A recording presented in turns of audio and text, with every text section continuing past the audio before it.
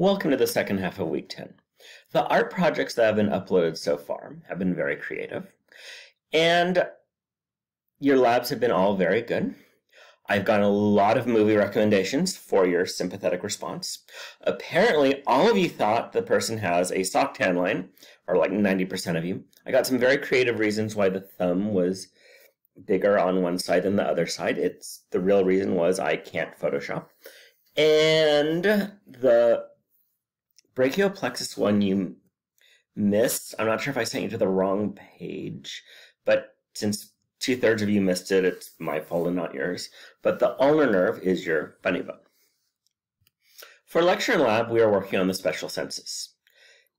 Now, it's a short lecture. Blood is going to be short next week. Endocrine might be a little bit on the long side next week. So, answer the review questions as you go through it.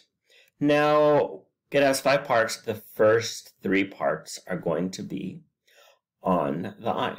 So go through them, look at what I said to pay attention to here. These are all going to be on the test. So protection of the eye, structures of the eye, I'll ask you what the layers are. There will be a question, what is the path of light through the eye? So make sure you know that. And we're going to talk about rods and cones. Then we have one lecture on the inner ear. We're going to focus on the path of sound, what the different structures do of the inner ear. Then we have taste and smell. And there's going to be a little bit of balance. The balance, I want to know what static equilibrium is, what dynamic equilibrium is, and where the receptors are. There are going to be two questions on balance. That's it. The assessment's going to be some matching questions. Basically, it's a survey. It is going to ask questions. I expect you're looking at the notes. There's no time limit. It's set to take it as many times as possible. Oops, there is a 15 minute time limit. I thought there wasn't a time limit. So you can take this as many times as possible. The idea is, do you understand it? Getting you ready for the test. For lab, we're doing special senses as well. The first thing, we're doing a cow eyeball dissection. I'm really sad we are not doing the dissection at home. When I asked the lab tech, can I have you guys go and pick up eyeballs to dissect at home? She looked at me like I had sprouted horns and gone completely crazy. We can't do it because of the preserving agent in the eyes, by the way. So what I want you to do is watch my video link, then go to complete anatomy. Select models, select secretion, protection of the eye, go through and label the structures, take a screenshot.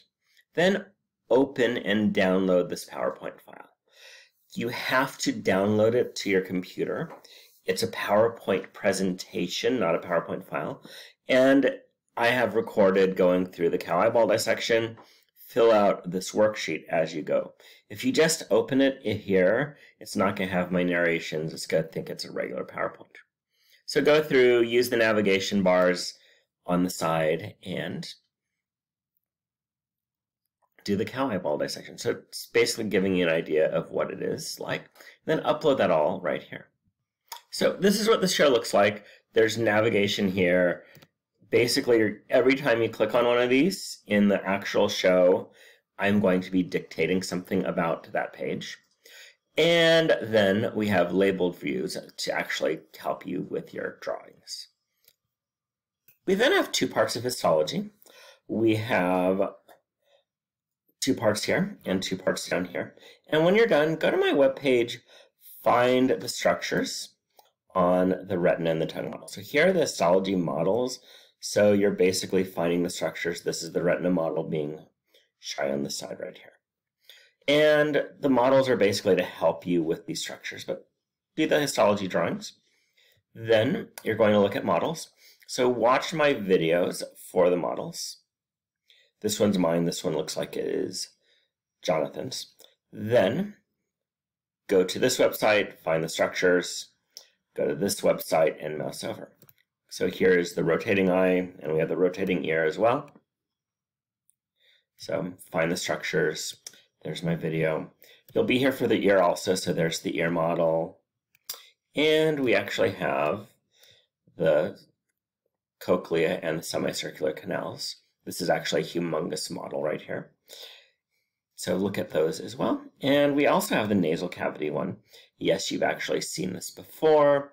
It's the exact same one for the bones. I just put it on another page. So go there, find them. For the this page, I'm sending you to Dr. Carpenter's page. So we have the different ones. We have the ear models. So we're going to watch Jonathan's video on this. Then we are going to find the structures, find the structure on the ear model, write the numbers. You may need to look at different angles for the numbers. Then you're going to upload everything else here. Look at the study guide. Pay attention to histology. A lot of people had trouble with histology. I think they paid more attention to how I did the drawings than what the histology really looked like. So, thank you.